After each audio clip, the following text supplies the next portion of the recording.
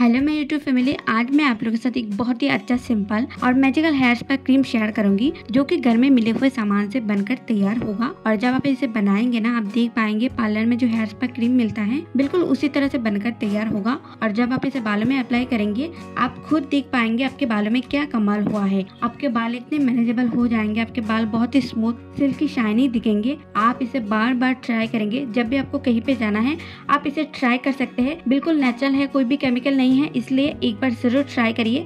आप खुद ही देख पाएँगे आपके बालों में क्या कमाल हुआ है। इसके लिए सबसे पहले आप कोई भी बॉल ले लीजिए। इसमें आपको लेना है एक चम्मच एलोवेरा जेल अब एक चम्मच कोकोनट ऑयल लेना है। आप इसकी जगह ऑलिव ऑयल भी ले सकते हैं। दोनों चीज़ों को अच्छे से मिक्स करना है।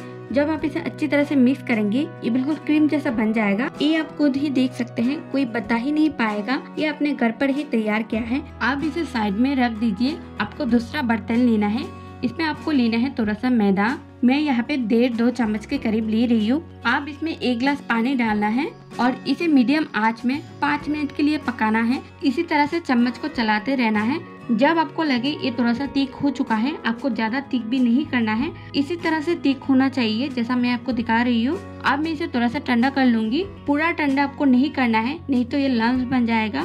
अब हमने जो पहले क्रीम तैयार किया था एलोवेरा जेल और कोकोनट ऑयल को मिक्स करके, इसी में आपको ये डालना है। अच्छी तरह से मिक्स करके आप तुरंत इसे बालों में अप्लाई करेंगे। जितना हो सके अपने बालों को सीधा करके ही अप्लाई करें।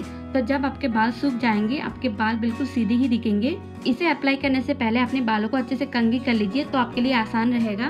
और इसे अपने बालों में 45 मिनट्स के लिए छोड़ देंगे। और जब आप अपने बालों को वॉश करेंगे, सबसे पहले अपने बालों को प्लेन वाटर से क्लीन कर लीजिए। उसके बाद ही शैम्पू करिए। यहाँ पे आपको कंडीशनर अप्लाई करने की ज़रूरत नहीं है। आप इसे नहाने से पहले लगा सकते हैं। नहीं तो अगर आपको तुरंत कहीं पे जाना है और आप चाहते हैं आपके बाल बहुत ही मैनेजेबल दिखे स्मूथ सिल्की दिखे तो आप इसे तुरंत बनाकर अप्लाई कर सकते हैं। और जब आपके बाल सूख जाएँगे तो आप देख ही पाएँगे आपके बालों में क्या कमाल हुआ है। आप खुश हो जाएँगे, अपने बालों को लेकर कॉन्फिडेंट फील करेंगे और आप अपने बालों को नेचुरल हवा में ही सूखने देंगे। अगर आप हेयर सीरम लगाते हैं तो आप लगा सकते हैं, नहीं तो आप स्किप कर दीजिए। क्योंकि मैंने जो डी आपको बताया है ना, ये ऑलरेडी आपके बालों को बहुत ही मैनेजेबल सिल्की स्मूथ करेगा। तो आज की वीडियो में बस इतना ही। अगर आपको वीडियो थोड़ा सा भी हेल्पफुल लगे तो वीडियो को लाइक करिए। इस तरह के हेल्पफुल वीडियोस के लिए मेरे चैनल को ज़रूर सब्सक्राइब करिए।